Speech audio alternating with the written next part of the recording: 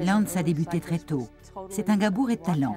Il était du genre à enfourcher son vélo pour foncer aussi vite qu'il le pouvait. C'est un athlète incroyable, doué d'une force intérieure absolument fantastique. Je refusais d'admettre cette fatalité. J'avais 25 ans, j'étais l'un des meilleurs de ma catégorie et par conséquent, comment pouvais-je attraper un cancer?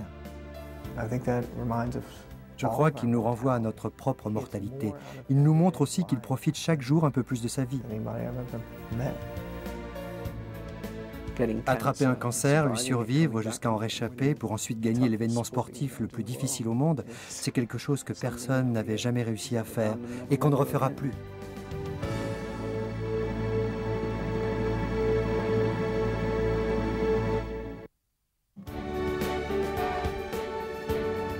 À son retour aux États-Unis après sa victoire du Tour de France 1999, le cycliste Lance Armstrong est accueilli en véritable héros. Jusque-là, peu d'Américains se sont intéressés à ce sport. Mais non seulement Lance vient de remporter la compétition la plus difficile au monde, il a également triomphé d'un cancer.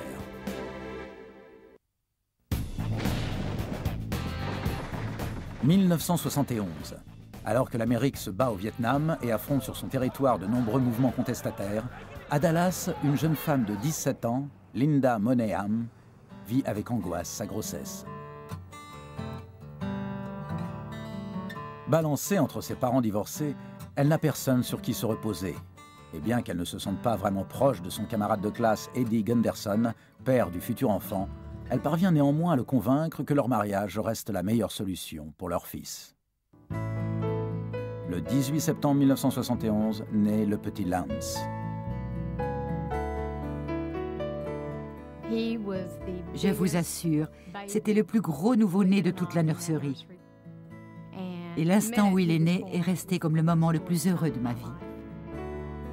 Peu après la naissance de Lance, Eddie et Linda divorcent.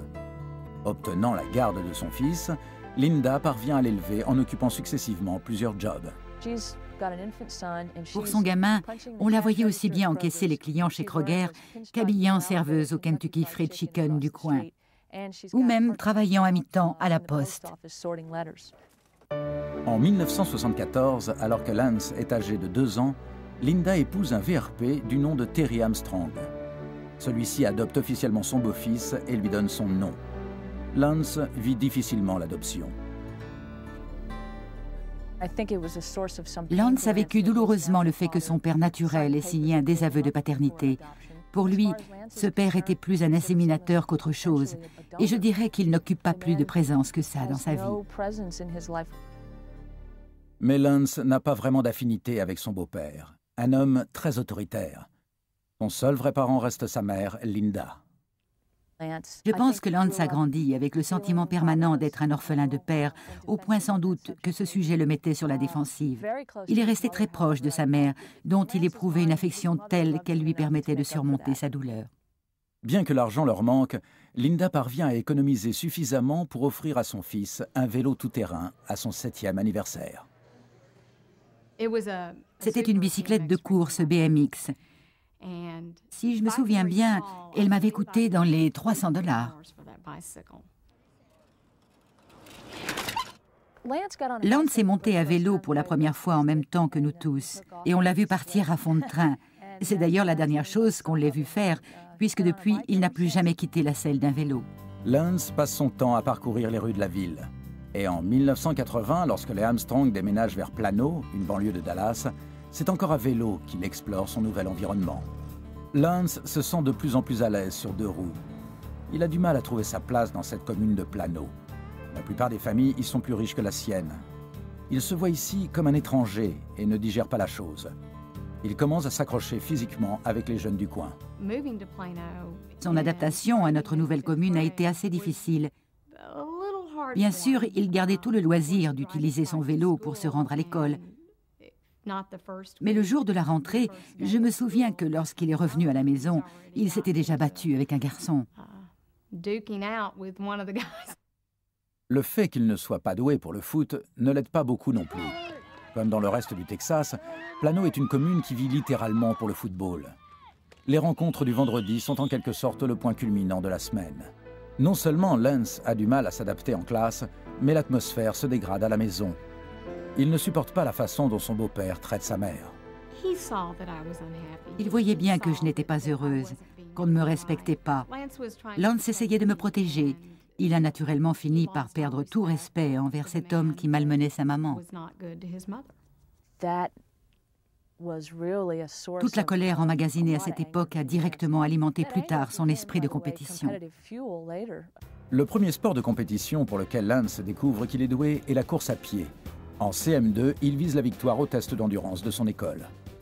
Il est revenu à la maison en me disant ⁇ Je vais la gagner, cette course ⁇ Et je suis certaine qu'au fond de lui, c'était aussi une manière de se dire ⁇ Je vais leur montrer qui je suis à ces gars ⁇ Le garçon le plus rapide de l'école se nomme Chan McRae. Lance décide de le battre. Tous les copains lui disaient ⁇ Eh, tu ferais mieux de faire gaffe à Chan ⁇ Et Lance leur répondait ⁇ Vous allez voir qui est le plus rapide et comment je vais lui botter le cul. Et promesse tenue, Lance gagne la course. Une discipline qui semble d'ailleurs s'accorder aussi bien avec son physique sec et nerveux qu'avec son tempérament volcanique. Dès lors, il rejoint l'équipe de cross de l'école, dont il devient l'un des favoris très appréciés. Sur la lancée de son succès, il décide de s'essayer un autre sport d'endurance. À 12 ans, il se met à la natation.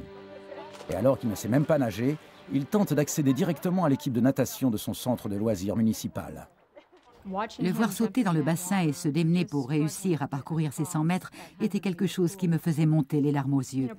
Il était fermement déterminé à rejoindre l'équipe. Et il y est arrivé, même si je dois avouer qu'il s'est retrouvé avec des CE2 beaucoup plus jeunes que lui. Il y a mis tant de cœur qu'au bout de deux mois, il était devenu un très bon nageur.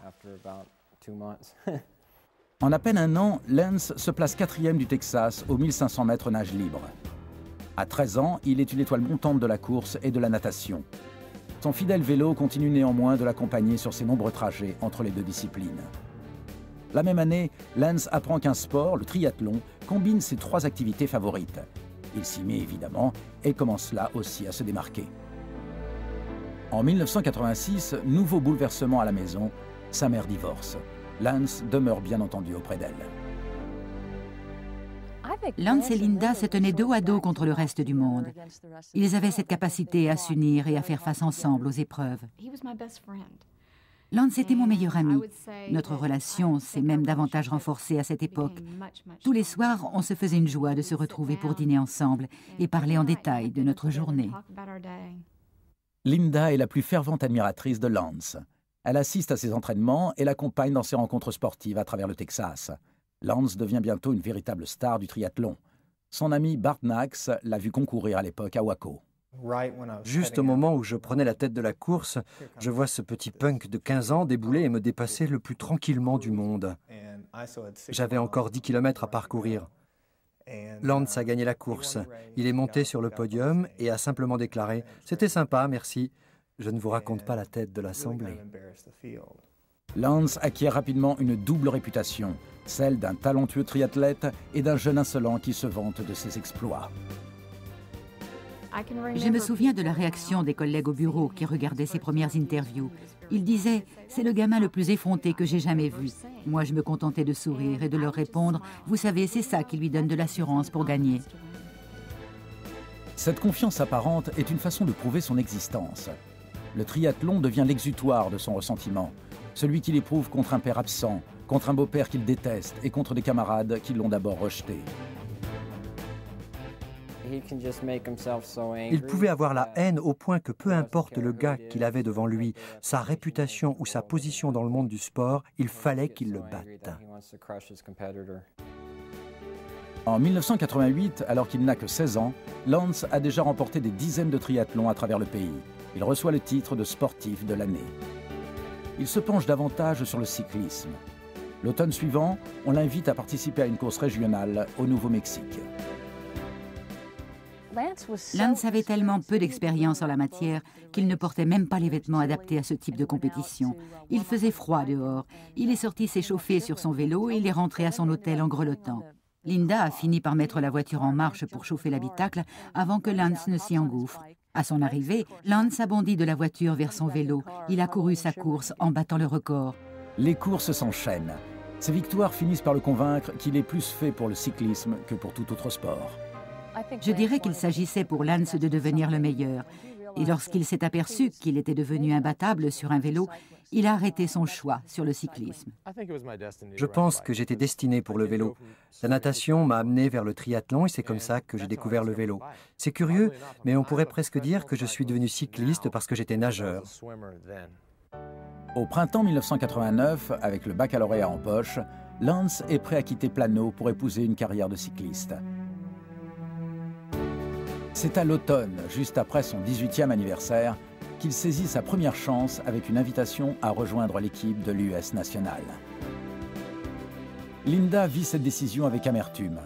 En compagnie de Lance, elle a tout fait pour que ce rêve devienne réalité, mais elle sait qu'en même temps, elle perd là son fils et son meilleur ami.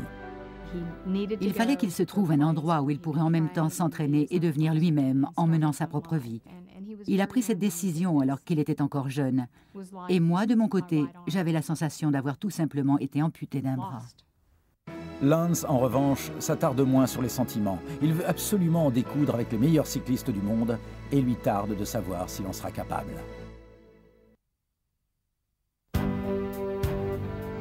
Début 1990, Lance Armstrong a 18 ans.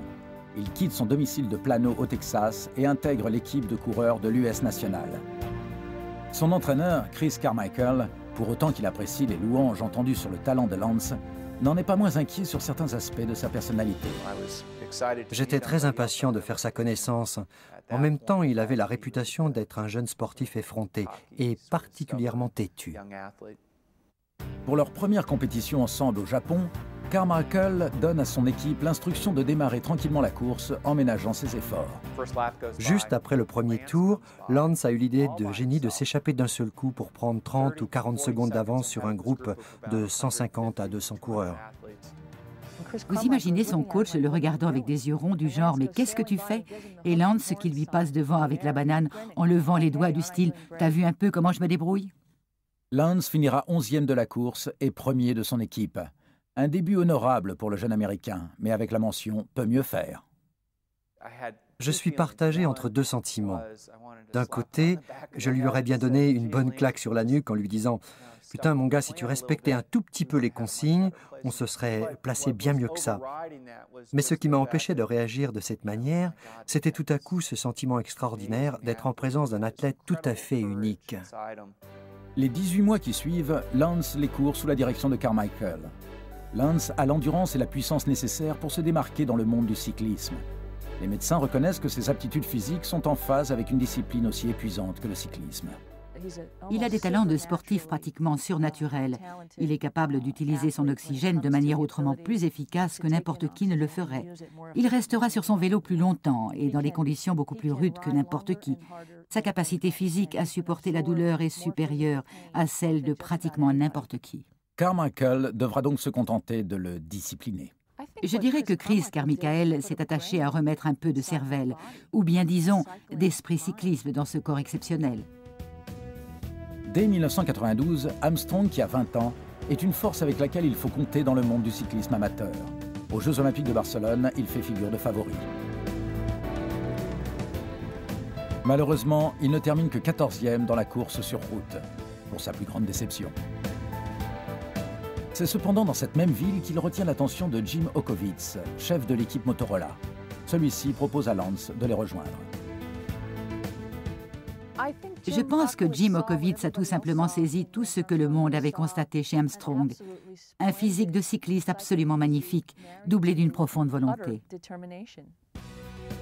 Quelques semaines plus tard, Lance court pour la première fois en tant que professionnel.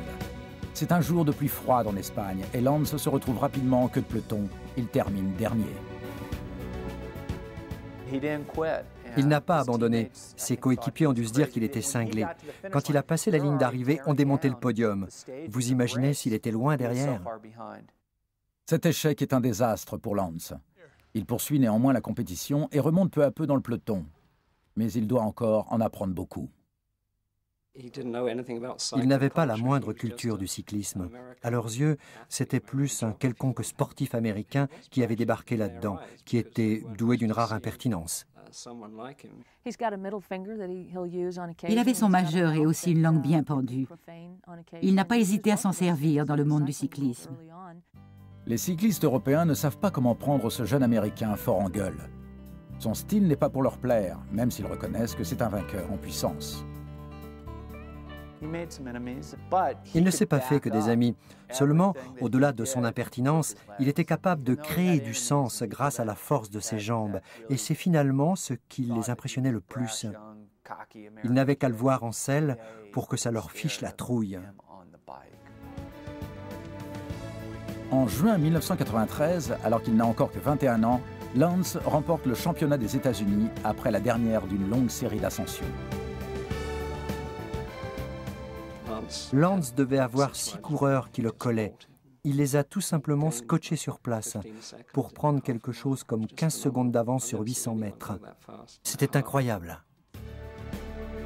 C'est sous son maillot de champion des États-Unis que Lance remporte le 11 juillet 1993 sa toute première étape du Tour de France à Verdun. S'il est contraint de se retirer de la compétition après seulement 12 jours de course, il se promet de revenir. Lance s'est fixé un nouvel objectif, devenir champion du monde. Il demande à sa mère de l'accompagner à Oslo, en Norvège. Sept heures durant, Linda reste rivée sur son fils collé au devant du peloton. Lance, sur la fin, décide tout à coup, une fois de plus, de s'envoler. J'ai vu à ce moment-là toute la détermination qu'il pouvait y avoir dans son regard, et je me suis dit, ça y est, c'est parti. Et au dernier tour, dans le dernier virage, il a mis le moteur. C'est l'un des coureurs les plus jeunes et le premier Américain depuis Greg LeMond à devenir champion du monde. Après la course, on est venu prévenir Lance que le roi de Norvège souhaitait le voir. Lance en a été ravi et il a demandé à sa mère de l'accompagner. Là, elle lui a répondu C'est à toi d'y aller. Et Lance s'est tourné vers elle en rétorquant Non, je ne suis pas du genre à faire attendre ma mère à la sortie. Et voilà comment nous avons été présentés tous les deux au roi. Un an après être arrivé dernier de sa toute première course, Lance Armstrong devient ainsi champion du monde. 1993 est une année extraordinaire. Il a remporté trois courses majeures, essentiellement professionnelles. Normalement, ces victoires se font durant toute une carrière, mais Lance, lui, les a enchaînées en l'espace de quatre mois. En Europe, son titre de champion du monde l'a propulsé du jour au lendemain au devant de la scène. Mais si ce championnat ne lui vaut pas la même notoriété aux États-Unis, il a le mérite de lui offrir quelque chose de bien plus important à ses yeux, l'argent. Lance signe en effet un nouveau et juteux contrat avec Motorola. L'argent représente tout pour Lance. À un moment, ça a même été la seule magistrale motivation de sa vie. Il lui fallait s'acheter toutes ces choses avec lesquelles il avait vu les autres gamins jouer et auxquelles il n'avait pas eu droit. Lance commence par se faire construire une nouvelle résidence au Texas. Pas à Plano, dont il s'est toujours senti exclu, mais à Austin, où cuisine et bière mexicaine sont loin de lui déplaire. Vous êtes tous prêts pour la course? Et c'est parti Lance est un Américain et sa course préférée reste le Tour du Pont, une compétition par étapes qui traverse le sud-est des États-Unis. Il lui restait à prouver à tous les Américains qu'il était le meilleur coureur. Et il a choisi de le faire à travers cette course hautement symbolique. À deux reprises, Lance se place second au Tour du Pont, avant de le remporter en 1995. Son triomphe est phénoménal. Mais à 23 ans, il se souvient qu'il n'a toujours pas achevé la plus longue et la plus difficile de toutes les courses par étapes, le Tour de France. Dans le cyclisme européen, il existe un dicton qui dit que tant que vous n'avez pas achevé votre Tour de France, vous n'êtes pas un véritable professionnel. Lance parcourt la totalité du Tour en 1995. Mais une tragédie vient gâcher ses chances de l'emporter. L'un de ses coéquipiers, Fabio Casartelli, se tue dans une descente des Pyrénées. Je dirais que cet événement a marqué la dernière phase de son éducation d'homme, mais aussi de cycliste. Quand Fabio s'est tué, Lance a réalisé, comme il a dit lui-même, que le Tour de France n'était pas une histoire de compétition, mais une histoire de vie, et en l'occurrence ici de mort. Ce même jour de 1995, Lance Armstrong ne sait pas encore que lui-même devra bientôt combattre pour sa propre vie.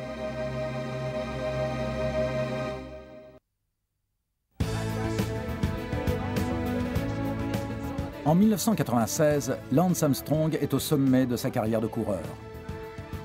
Au printemps, après sa victoire à 5 des 12 étapes du Tour du Pont, il demeure imbattable. En 96, il était parvenu à un niveau hautement plus élevé que quiconque et personne ne pouvait se mesurer à lui dans cette course. En juillet 1996, Lance est prêt à s'élancer tête baissée dans le Tour de France. Il espère cette fois se placer en tête de peloton mais après seulement cinq jours de compétition, des problèmes de respiration le forcent à abandonner. Il rentre à Austin et s'entraîne avec acharnement pour les Jeux olympiques d'Atlanta. Après sa déception de Barcelone, il veut faire de cette année celle de sa médaille d'or, de son grand triomphe chez lui face à des foules de compatriotes. Il a attaqué comme on s'y attendait mais il n'a pas pu fournir d'efforts prolongés et par conséquent, il n'a pas gagné. Bien que ce soit un cuisant échec, Lance conserve néanmoins de quoi se réjouir. La nouvelle équipe cycliste française de Cofidis l'invite à la rejoindre. Il s'apprêtait à gagner un million de dollars par an, ce qui est énorme pour un gosse qui est né à Plano, au Texas. Mais Lance ne se sent pas bien. Au cours de son 25e anniversaire, en septembre, de violents maux de tête l'obligent à quitter d'urgence le concert auquel il assiste. Bien que d'autres symptômes aient commencé à le harceler, il préfère ne pas en parler, jusqu'à ce mercredi 2 octobre où il s'oblige à appeler son docteur. Ce qui a fini par le pousser chez son docteur, c'est lorsqu'il s'est mis à vomir du sang dans le lavabo. Ses douleurs étaient telles qu'il ne pouvait plus s'asseoir, ni sur un fauteuil, ni sur la selle de son vélo. Il avait les testicules si gonflés que ce jour-là, il lui a fallu pédaler debout. Son médecin traitant l'envoie immédiatement consulter un spécialiste à l'autre bout de la ville. Après une série d'analyses, ce dernier reconvoque Lance à son cabinet. Il n'a pas perdu un instant. Il a commencé par me montrer la radio de ma poitrine où l'on voyait plein de petites taches blanches. Et il m'a déclaré comme ça, vous avez un cancer des testicules. Et je ne comprenais pas pourquoi il me montrait la radio de mon thorax. Le cancer s'est tout simplement étendu à ses poumons. Pas moins de 12 tumeurs, chacune de la taille d'une balle de golf. Il a d'abord réagi à ce diagnostic comme s'il l'aurait fait typiquement avec toute forme de contrainte s'imposant à lui, c'est-à-dire par la colère. Ses premiers mots ont été J'ai 24 ans, pourquoi donc est-ce que j'aurai le cancer? Sa réaction suivante a été de dire Ok, on va l'anéantir. Dès le lendemain matin, 3 octobre, Lance subit l'ablation du testicule cancéreux. L'intervention est un succès. Deux jours plus tard, il se rend auprès d'une banque du sperme à San Antonio. Les médecins l'ont en effet informé que la chimiothérapie le rendrait stérile pendant au moins quelques années. Le lundi 7 octobre, Lance suit sa première séance de chimiothérapie avant d'annoncer publiquement dès le lendemain sa maladie. Jeudi 3 octobre, j'ai subi à l'hôpital Saint-David une intervention chirurgicale visant à m'enlever un testicule atteint de tumeur maligne. L'opération a réussi. Une scanographie pratiquée le jour même a révélé que la maladie s'est étendue dans mon abdomen. Malheureusement, Lance n'en a pas fini avec les mauvaises nouvelles. Cette même semaine, il apprend que le cancer a également touché son cerveau. Si un cancer des testicules est une maladie en général très facilement soignable, l'état de Lance est grave, au point que les médecins croient difficilement à sa guérison. En clair, il avait moins de 50% de chances de survivre, vu la répartition dans son corps des tumeurs. Mais Lance reste déterminé à leur prouver le contraire. Il s'envole vers Indianapolis.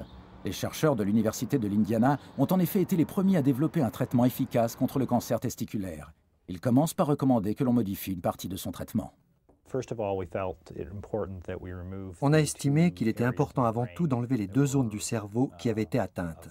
Et ensuite, on a demandé à ce que sa chimiothérapie soit modifiée pour des médicaments tout aussi efficaces, mais avec l'espoir qu'il serait moins toxique pour ses poumons. Je les revois se penchant tranquillement en arrière sur leur chaise et m'annonçant comme ça, Vous savez, on est confiant, on a déjà eu des patients dans la même situation que la vôtre, on les a guéris. Ainsi, le jeudi 24 octobre 1996, soit trois semaines après le premier diagnostic, Lance retourne à l'hôpital, cette fois pour une intervention au cerveau. Le chirurgien parvient à enlever toutes les tumeurs. Commence alors une course contre la montre pour la vie de Lance. Il lui faudra encore affronter trois séries de séances de chimiothérapie. Une chimiothérapie, c'est la guerre, ni plus ni moins. Vous comprenez, cette saleté vit à l'intérieur de vous. Elle essaie de vous tuer. J'ai eu la trouille.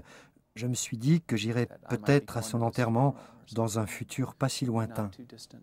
Par contre, il est vrai que lorsque vous vous trouviez près de lui, vous aviez du mal à croire à un tel état de santé.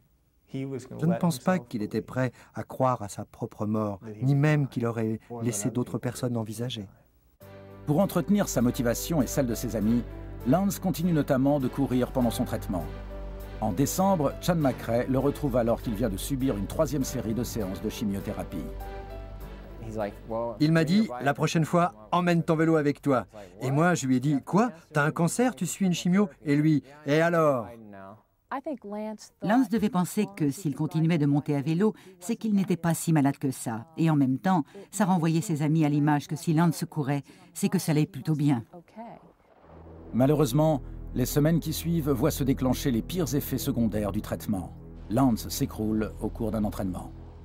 Il ne s'est pas arrêté un seul instant de rouler jusqu'à ce qu'il se retrouve étendu dans un champ avec la sensation affreuse qu'il allait peut-être y rester. Le 13 décembre 1996, Lance entame ses dernières séances de chimiothérapie. Les médicaments ont attaqué ses muscles et le traitement antinausée l'épuise. Alors qu'il est encore hospitalisé, un représentant de l'équipe Cofidis débarque de France. C'était une sale journée. J'étais vraiment au plus bas. Je traversais l'une des phases les plus épouvantables de la maladie et du traitement. Je me disais qu'il devait me considérer comme faisant déjà partie de l'histoire. On lui confirme qu'il restera dans l'écurie, mais seulement pour une fraction du million de dollars initialement prévu. On a renoncé à croire en lui d'un coup, comme ça, en plein milieu de sa thérapie. Quelques jours plus tard, la nouvelle tant attendue tombe. Le traitement a marché. Son cancer est en rémission. Lance passe les fêtes de Noël avec le sentiment de revivre lentement, mais sûrement. Pour cette soirée, je me suis demandé avec ou sans chapeau? Lance est passé à deux doigts de la mort, mais il remonte la pente. Il lui faut à présent continuer de reconquérir sa vie. C'est un fait. Début 1997, Lance a bel et bien remporté son combat contre le cancer. Le pronostic des spécialistes est favorable. Mais à 25 ans, il ne sait pas s'il pourra continuer à courir. En même temps qu'il reprend du poil de la bête, Lance crée une fondation destinée à financer la recherche et à aider les malades du cancer. Il recueille les fonds de cette œuvre en organisant une course caritative. Christine Richard, qui travaillait alors pour l'un des sponsors présents, rencontre Lance pour la première fois lors d'une conférence de presse annonçant l'événement. Lance venait tout juste de terminer sa chimio. Il était pâle et ne parlait pas beaucoup. Il est évident qu'il ne pouvait pas se sentir complètement à l'aise dans une conférence de presse. Et pourtant, il s'est montré tout ce qu'il y a de plus charmant et naturel. Je n'oublierai jamais quand il est monté sur le podium. J'ai vu un grand sourire illuminer son visage et là je me suis dit Ah, Lance et Christine travaillent à l'organisation de la compétition. Ils passent de plus en plus de temps ensemble. Elle est comme Lance, d'un tempérament vif, de nature aussi à le mettre au défi, à lui montrer les choses sous un angle différent. En mars 1997, 2000 personnes se rassemblent pour assister à leur course des roses. Cette manifestation leur rapporte plus de 200 000 dollars. Alors que plus rien ne les retient à l'issue de leur collaboration, Lance et Christine choisissent pourtant de continuer à se voir. Ils ont commencé à se trouver de bonnes excuses pour se revoir et s'appeler. Et peu à peu, c'est devenu une belle histoire d'amour. Cependant, l'avenir professionnel de Lance demeure incertain. Cofidis a résilié son contrat. Et lorsqu'à l'été 1997, il annonce qu'il cherche une nouvelle écurie, personne ne vient à sa rencontre. Se voir rejeté par les Européens a été une chose très dure pour lui, parce qu'il pensait logiquement qu'il avait été champion du monde, qu'il avait remporté des courses et des étapes dans le Tour de France. Le fait que tout le monde l'ignore le sidérait totalement. Il était persuadé d'être resté une bonne affaire, alors qu'en réalité, les gens s'étaient totalement désintéressés de lui. Heureusement, à l'automne 1997, l'équipe américaine de l'US Postal Service lui offre une place. Ils ne pouvaient pas le payer énormément, mais ils ont mis au point un système de primes tout en restant confiants sur ses performances. Lance demande Christine en mariage. Tous deux s'expatrient vers l'Europe début 1998, où Lance reprend la compétition. A-t-il retrouvé l'ensemble de ses qualités exceptionnelles? Tout le monde semble l'attendre au tournant. Qu'avait-il réellement récupéré? On pénétrait là en terrain inconnu, où tout ne pouvait être que pure théorie. Il m'avait dit qu'avec seulement 2 à 3% de capacité en moins, il ne faudrait plus espérer de miracle de sa part. Et j'ai pensé que ce serait peut-être malheureusement le cas. En février 1998, Lance participe en Espagne à la Ruta del Sol et se place 15e. Trois semaines plus tard, il s'élance sur le Paris-Nice. Au cours de la première étape, affaibli par de mauvaises conditions météo, il abandonne. Il a dit comme ça, j'en ai marre de tout ça. Et les gens ont cru que c'était certainement la dernière fois qu'il le voyait en tant que professionnel. Ses amis le convainquent de s'accorder encore au moins une course. En avril 1998, Chris Carmichael l'emmène s'entraîner à Boone, en Caroline du Nord, précisément là où il avait participé au Tour du Pont. Il connaissait ces routes par cœur. Il en avait été le héros. Et je me suis dit que ce serait une bonne chose que de le replonger dans ce type de souvenirs. Ce voyage, avec d'anciens encouragements à sa gloire retrouvés peints sur l'asphalte des routes, déclenche en lui un véritable déclic. Avant de repartir pour l'Europe, Lance et Christine se marient à Santa Barbara le 8 mai 1998. Lance se replonge corps et âme dans la compétition et revient à son plus haut niveau. Il enchaîne deux victoires, l'une au Tour du Luxembourg, l'autre à celui de Rhénanie-Palatinat. Et ce n'est pas fini. Tout le monde trouvait ça incroyable. Quatrième au Tour de Hollande, quatrième au Tour d'Espagne, quatrième au championnat du monde. Si c'est pas ce qu'on appelle un comeback. La fin de la saison prouve que c'est effectivement un comeback. Sur sa lancée et sur les encouragements du Belge Johan Brunil, le nouveau directeur de l'US Postal, Lance vise à nouveau le plus haut titre qui soit, celui de champion du Tour de France. Pour nous, Américains, ce n'est pas seulement qu'une course de trois semaines, c'est une course où il faut être au top de sa forme tous les jours. Pour lui, c'était à la fois un bouleversement et un risque lourd à courir. Mais Lance était en même temps un homme nouveau, capable de prouver qu'il pouvait encore surprendre sur beaucoup de choses. Avant de repartir pour la France, le couple Armstrong veut un enfant.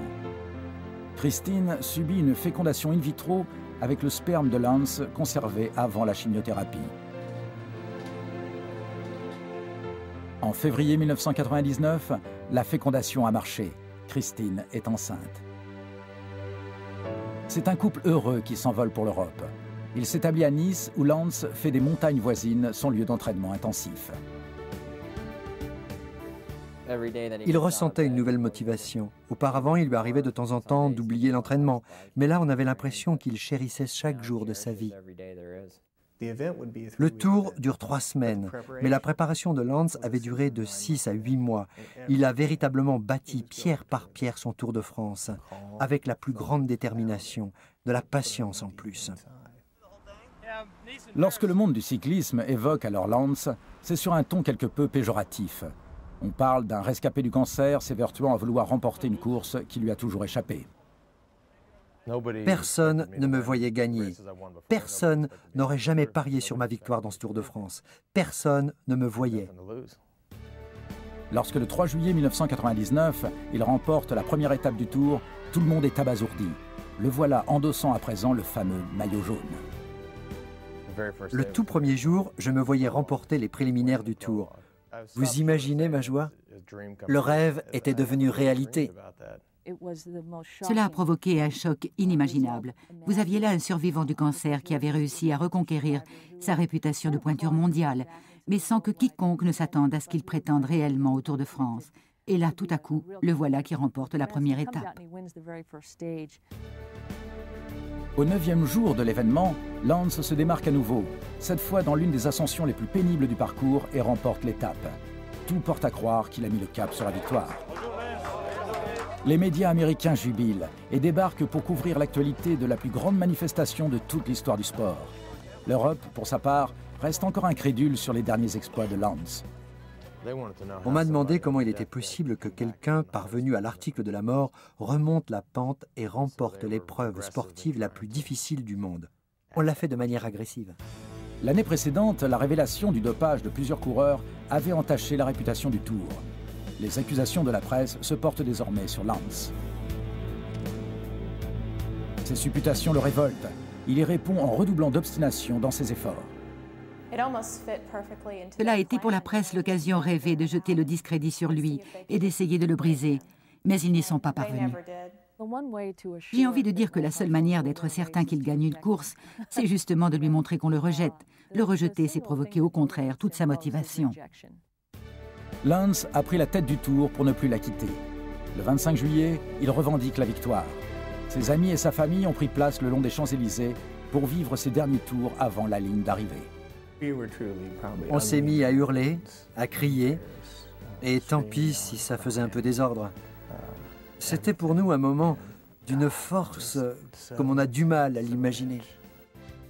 Cette victoire extraordinaire concrétise et récompense les immenses efforts de Lance.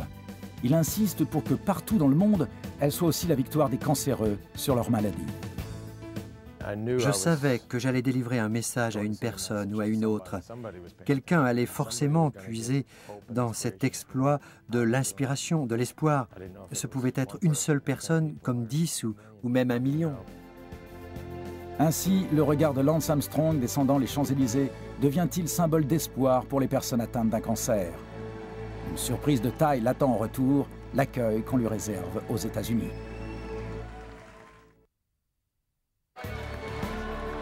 Après sa victoire du Tour de France 1999, Lance Armstrong reçoit à son retour aux États-Unis un accueil au-delà de tout ce qu'il aurait pu imaginer. Je n'ai jamais vu une chose pareille. C'était une liesse populaire digne du retour d'un astronaute depuis la Lune ou quelque chose de ce genre. Les gens étaient littéralement fous de joie et moi avec. L'histoire de Lance a touché une corde sensible. Si les Américains n'avaient jusque-là jamais prêté grande attention au cyclisme, ils rattrapent à présent le temps perdu. Lance devient la coqueluche de la nation. On le célèbre de la bourse de New York à la Maison Blanche, en passant par sa ville d'Austin, où a lieu une grande parade. On t'aime, Lance Un pur bouleversement dans sa vie et celle de Christine. Il est devenu tout à coup un héros national et international. Vous savez, ça a métamorphosé leur vie. À l'automne, ils célèbrent une autre victoire, autrement plus intime. Le 12 octobre 1999, naît leur fils, Luc David. Son nouveau rôle de père transporte Lance de joie. Je pense qu'il a saisi cette chance, comme celle de fonder le foyer auquel il n'avait jamais eu droit, devenir un peu le père qu'il n'a pas eu, c'est quelque part une façon de revenir en arrière et de réécrire les choses. Il vit un enchantement total. Sa femme et son fils le comblent comme aucune course ne le fera jamais. À l'automne 1999, Lance s'attelle à un autre projet qui lui tient à cœur. Il écrit en compagnie de Sally Jenkins son autobiographie. Leur livre, intitulé en France Il n'y a pas que le vélo dans la vie, devient un best-seller. Le visage de Lance est désormais partout. Il s'est entouré de nouveaux sponsors, tourne dans des publicités. L'une d'entre elles, pour la marque Nike, est une réponse à ceux qui l'avaient vu.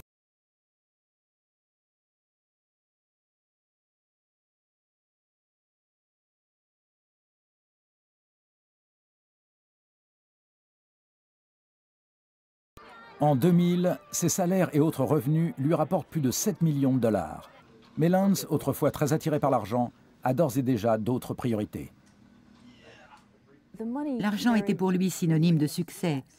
C'était une façon de mesurer à quelle distance il avait été capable de s'éloigner de sa petite banlieue de Plano. Il s'agissait avant tout pour lui de marquer des points. Au printemps 2000, la famille Armstrong est de retour sur la côte d'Azur. Lance veut en effet participer au prochain Tour de France. Ses détracteurs avancent qu'en 1999, Lance n'avait pas encore affronté la crème des coureurs. Il pourrait cette fois ne pas être à la hauteur de ses prétentions. On lui a dit comme ça, c'est vrai, tu as remporté une belle victoire, mais il suffit que tu te retrouves face à Jan Ulrich ou à Marco Pantani en bonne condition physique et tu verras, tu feras pas le poids. Six mois avant que ne débute la course, il m'a dit Je vais la gagner, cette course. Personne ne m'en croit capable, ils vont voir justement. Lance ménage ses efforts en début de course. Il faut attendre le 10 juillet, soit dix jours après le début de la compétition, pour le voir s'élancer une fois de plus sur les parcours montagneux. Il a démarré en trombe et le groupe qui l'accompagnait n'en a pas cru ses yeux de voir à quelle vitesse il s'est mis à pédaler. Il dépassait les 100 tours de roue par minute. Son rythme, Lance le tient jusqu'à Paris. Il remporte une seconde fois le tour pour la plus grande fierté de ses compatriotes présents. Une victoire qu'il savoure encore plus que la précédente. Ce fut un instant extrêmement privilégié pour Lance. Et de pouvoir le partager comme ça avec son fils, c'était un accomplissement merveilleux. Lance s'envole ensuite pour participer aux Jeux olympiques de Sydney. Il tente pour la troisième fois la médaille d'or et la manque de peu en empochant une médaille de bronze au contre-la-montre. Je pense que ce jour-là, à Sydney, j'ai été la plus fière, parce qu'il s'en est tiré avec la plus grande classe qui soit. Vous ne pouvez pas toujours avoir tout dans la vie. Je crois que la différence se juge dans l'art et la manière d'encaisser cette réalité. C'est justement ce qui fait un homme. Et si vous saviez combien je l'aimais ce jour-là. Le 2 octobre 2000, deux jours après la victoire de cette médaille, Lance célèbre le quatrième anniversaire de son diagnostic du cancer. Le 2 octobre, c'est notre grande fête de famille, et un peu comme un deuxième anniversaire pour Lance. C'est le jour où l'on célèbre tout simplement le fait qu'il soit en vie. Une victoire sur le cancer dont il a conscience qu'elle est chargée de sens. S'il devait faire un choix entre remporter le tour et surmonter à nouveau un cancer, il repartirait aussi sec dans la lutte contre la maladie. Parce que d'un côté, on a réellement une expérience de foi d'ordre mystique, et de l'autre, on a juste une course de vélo. Pour lui, ce n'est donc pas une question de choix. Je préfère qu'on parle de moi comme un survivant du cancer. C'est ce que j'ai réalisé de mieux. En suivant la carrière de Lance Armstrong, on ne peut que s'émerveiller face à ce gamin de Plano au Texas qui s'est hissé parmi les plus grands noms du cyclisme européen tout en poursuivant son propre parcours du combattant. Tout le monde aux États-Unis adore les histoires de comeback. Tout le monde adore quand l'un de nos gars sort du lot et se démarque par quelque chose d'extraordinaire. Parvenir au sommet de sa condition physique après avoir vaincu une maladie grave au point de remporter deux fois un Tour de France, c'est la plus belle démonstration d'endurance qui soit.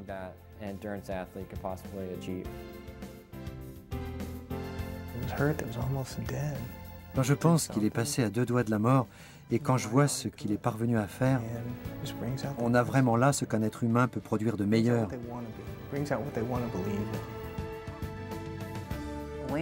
Lance est un modèle d'espoir, d'inspiration aussi. Et ça, c'est vraiment l'essentiel.